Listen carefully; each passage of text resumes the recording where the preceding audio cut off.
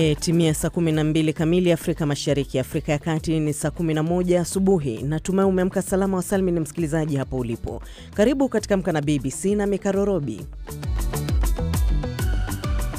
tulionayo katika Amka na BBC hii leo. Waziri mkuu wa Israel Benjamin Netanyahu asema anakusudia kuwashambulia wanamgambo wa Hamas hivi karibuni, akihoji shinikizo zaidi la kijeshi ndo njia pekee ya kuhakikisha mateka wanaachiliwa huru. Umoja wa Mataifa umetoa wito wa dharura wa misaada ya kibinadamu kwa ajili ya mamilioni ya watu wanaoathirika na mzozo wa mashariki mwa Jamhuri ya Kidemokrasia ya Kongo.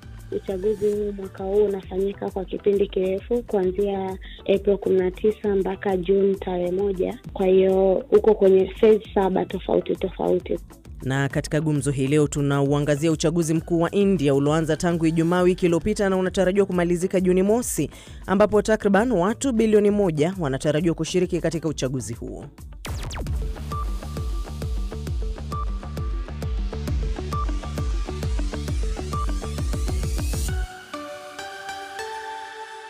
Lakini kwanza ni muktasari wa habari za dunia na Nasteha Muhamed. Shukran Robi. Waziri mkuu wa Israel Benjamin Netanyahu ameonya kuwa hivi karibuni Israel itaongeza mashambulizi yake dhidi ya Hamas. Waziri huyo mkuu wa Israel alitoa onyo hilo katika hotuba yake ya video wakati wa mkesha wa sikukuu ya Kiyahudi ya Pasaka. Kwa bahati mbaya, hadi sasa mapendekezo yote ya kuachiliwa kwa watu wetu waliotekwa yamekataliwa moja kwa moja na Hamas. Ndiyo maana waziri wa mambo ya nje wa Marekani alisema kwa usahihi, Hamas ilikataa mapendekezo yote yaliyotolewa. Kulingana naye, jambo la pekee ambalo linalozuia mpango wa kuachiliwa mateka ni Hamas. Badala ya kurudi nyuma kutoka kwa misimamo yao mikali, Hamas inajenga mgawanyiko ndani yetu. ולהשיג את ניצחוננו. Wahudumu wa afya katika eneo la Gaza wamepata miili, makumi ya miili iliyozikwa katika hospitali ya Al-Nasir huko Khan Yunis. Haya yanajiri wiki mbili baada ya wanajeshi wa Israel kuondoka mji huo, wiki kadhaa baada ya mashambulizi makali. Shirika la afya ulimwenguni WHO awali lilikuwa limedai kuwa miili ya watu ilikuwa imezikwa karibu na hospitali hiyo baada ya uvamizi wa Israel, lakini Wapalestina wamewashtumu wanajeshi wa Israel kwa kuwaua watu hao. Jeshi la Israel limesema litachunguza taarifa hiyo. Nchini Nigeria, jeshi linasema wanajeshi sita wameuawa na wanamgambo katika jimbo jimbo la kati la Niger. Maafisa wawili walikuwa miongoni mwa waliouawa wakati wa shambulizi la kuvizia lililotokea siku ya Ijumaa na kutekelezwa na watu wanaotajwa kuwa magaidi. Katika taarifa, jeshi imesema kwamba wavamizi kadhaa waliuawa na msako unaendelea dhidi ya wengine. Wakati huu huo, jeshi halijathibitisha ripoti kuwa afisa mmoja alitekwa nyara. Hadi sasa haijulikani nani alihusika na shambulio hilo la kuvizia. Nigeria imekumbwa na mashambulizi ya utekaji nyara na vilevile kupam, na vilevile kupambana na maka, vilevile kupambana na makundi ya kigaidi na hatimaye roketi tano inaripotiwa kurushwa kutoka kaskazini mwa Iraq hadi kambi ya jeshi la Marekani katika mpaka wa Siria. Roketi tatu zinaaminika kugonga kambi ya jeshi la Harab Aljir au karibu na eneo hilo na kusababisha uharibifu mdogo. Hii ni BBC. Muktasari wa habari za dunia umesomwa na Anastea Muhamed. Ni Amka na BBC na Mikarorobi. Msikilizaji, kuna njia mbalimbali mbali za kuyapokea matangazo yetu leo asubuhi nchini Tanzania. Yatege sikio kupitia Radio Free Africa, Bud FM na Radio Kwizera.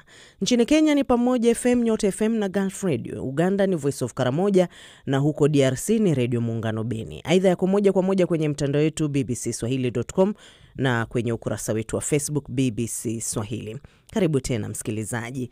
Waziri mkuu wa Israel Benjamin Netanyahu amesema anakusudia kuwashambulia wanamgambo wa Hamas hivi karibuni, akihoji shinikizo zaidi la kijeshi ndo njia pekee ya kuhakikisha mateka ambao wanashikiliwa huko ukanda wa Gaza na wanamgambo hao wanaachiliwa huru. Filis Mwate na taarifa zaidi. Licha ya upinzani kutoka kwa jamii ya kimataifa, waziri mkuu Bwana Benjamin Netanyahu amekuwa akisema mara kwa mara jeshi litaanzisha operesheni ya ardhini katika mji wa kusini wa Rafa ambapo zaidi ya Wapalestina milioni moja waliokimbia makazi yao wanapata hifadhi. Katika hospitali ya Rafa, madaktari wanasema wameokoa maisha ya mtoto aliyezaliwa kabla ya miezi tisa kutimia, ambaye mama yake aliuawa katika shambulio la anga la Israel siku ya Jumapili. Mtoto huyo ana uzito wa kilo moja na mamake alijifungua kwa dharura kupitia njia ya upasuaji. Waziri wa Israel Benny Gantz amesema Israel itafanya kila iwezalo kuwarejesha mateka na inaendelea na juhudi za kuweka shinikizo kwa Hamas, iwe kupitia njia ya kisiasa au nguvu za kijeshi. Kwenye hotuba yake, Bwana Gantz ameahidi kwamba magaidi wa Hamas watasakwa. Katika wiki za hivi karibuni, serikali yote na mimi pia tunazidi kutafuta mbinu za kuwarejesha watu wetu waliochukuliwa kama mateka. Binafsi nimezungumza na viongozi wa kimataifa na wa kikanda, na tunazidi kuweka shinikizo kwa njia za kiuchumi, kisiasa na pia kijeshi.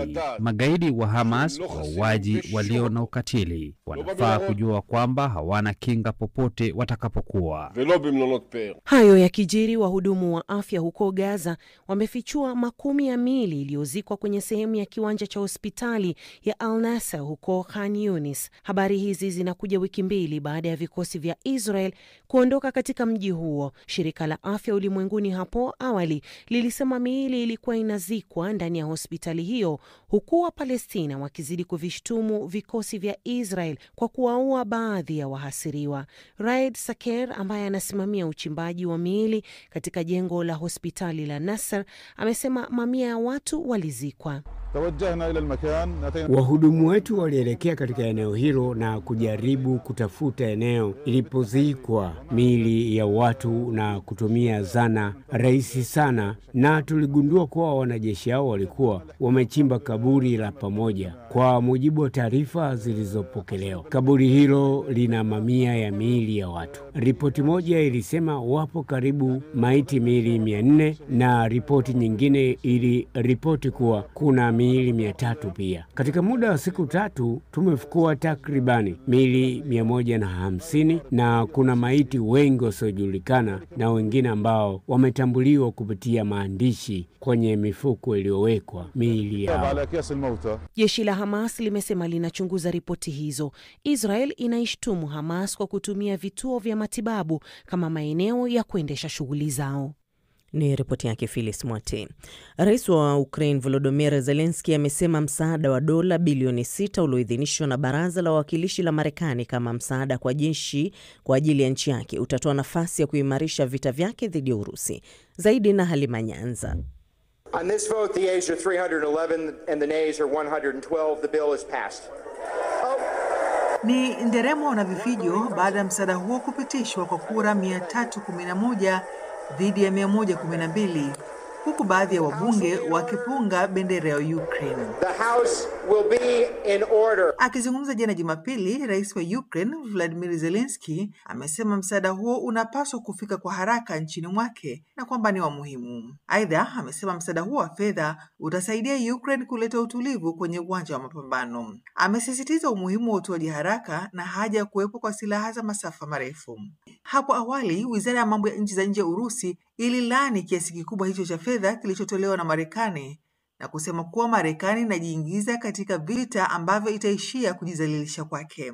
Lakini hata hivyo, mbunge wa Ukraine Andriy Osarchki ameiambia BBC kwamba haamini chochote ambacho Urusi inasema.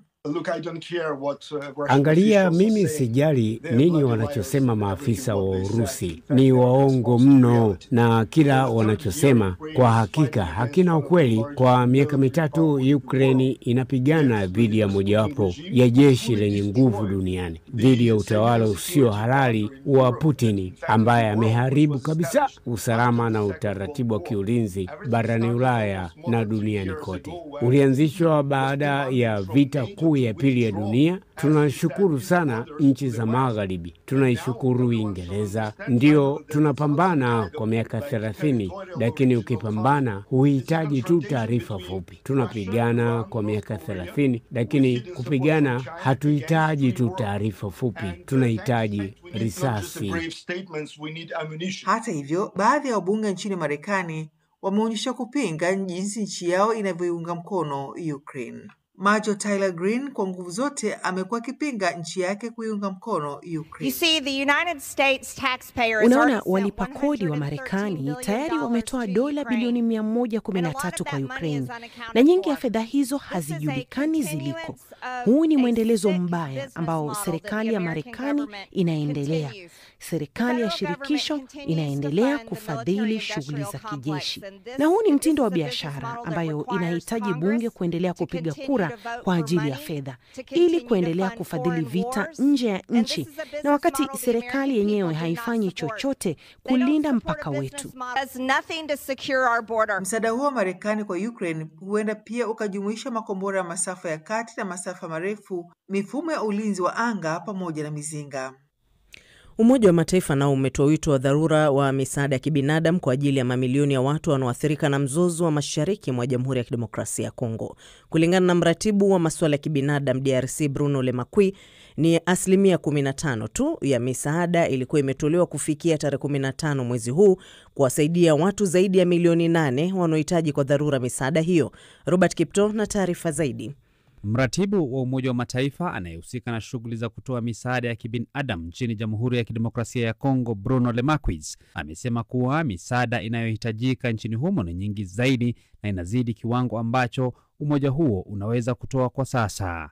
Waasi waliojihami vikali wameyateka maeneo mengi ya mashariki mwa Kongo kwa miongo kadhaa sasa, huku hali ya wasiwasi ikiwa imetanda katika maeneo mengi mashariki mwa Kongo baada ya waasi wa M23 kuendelea kuyateka maeneo mengi zaidi tangu mwaka wa 2021. Umoja wa Mataifa umesema kuwa unahitaji zaidi ya dola bilioni 2.6 mwaka huu pekee ili kuwahudumia raia wa DRC. Amesema kuwa Umoja wa Mataifa kwa sasa hauna rasilimali za kutosha ili kukidhi mahitaji ya watu walioathiriwa na mzozo huo nchini Kongo. Ameongeza kuwa katika kipindi cha miaka kumi iliyopita ufadhili wa umoja huo umekuwa ukipungua kila mwaka.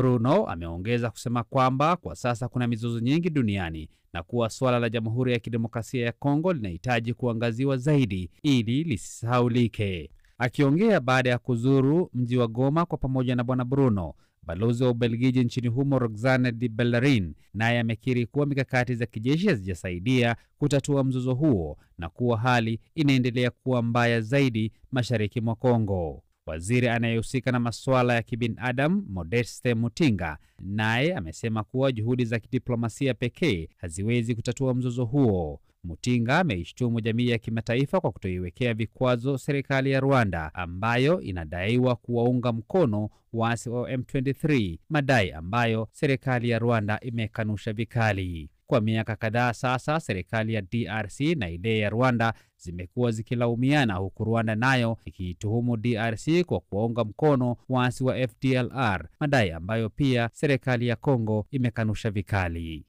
Tukitoka DRC tunaelekea Dar es Salaam kwake Shedrak Mwansaso atupashe habari za viwanjani. Kwako Shedi. Asante Karo Robi. Mwanariadha wa Kenya Peresi Jepchirchir ameweza kuvunja rekodi pekee ya dunia kwa upande wa wanawake. Hii ni baada ya kushinda mbio za London Marathon. Ametumia muda wa saa 2 dakika 16 na sekunde 16, na huo ulikuwa ni muda wa sekunde 45 kwa kasi zaidi. Kwa upande wa wanaume, Mkenya mwenzake Alexander Motiso Munyao amefanikiwa kushinda, huku wanariadha wawili wa Switzerland Machel Hagi pamoja na Catherine Debbie Rana wakishindwa kufanya uzuri. Kwa mara ya kwanza pesa za zawadi zimechangwa zimegawanywa kwa usawa, huku wakimbiaji wanaotumia viti maalum vya magurudumu wheelchair wakishinda kiasi sawa na wakimbiaji wenye uwezo wa kawaida. Na kabla ya mbio hizo, sifa na pongezi pekee zilitolewa kwa mshindi wa mwaka jana kwa upande wa wanaume Kevin Kiptuni ambaye aliweza kufariki dunia katika ajali ya gari mwezi Februari mwaka huu. Katika soka, michuano ya kombe la shirikisho barani Afrika, hatua ya nusu fainali ya kwanza imeendelea jana kwa mchezo mmoja pekee. Zamalek ya Misri imeweza kutoshana nguvu ya kutofungana katika soka kimataifa. Meneja wa klabu ya soka ya Manchester United Erik Teniagi amekiri kuwa timu yake jana ilipoteza mwelekeo wakati wa kusaka nafasi ya kuweza kutinga katika hatua ya fainali ya kombe la FA wakicheza dhidi ya Coventry City. Hata hivyo, baadaye United ikafanikiwa kufuzu kupitia mikwaju ya penati nne kwa mbili baada ya sare ya kufungana goli tatu kwa tatu kwa dakika 90 za mchezo na nyongeza. Kwenye mchezo huo United walikuwa mbele kwa uongozi wa mabao matatu kwa bila, na zikiwa zimesalia dakika ishirini za mchezo kutamatika kwa mchezo, Coventry City wakasawazisha mabao hayo na kwenda kwenye hatua hiyo ya mikwaju ya penati. Mwisho wa dondoo zake michezo. Shukrani Karobi.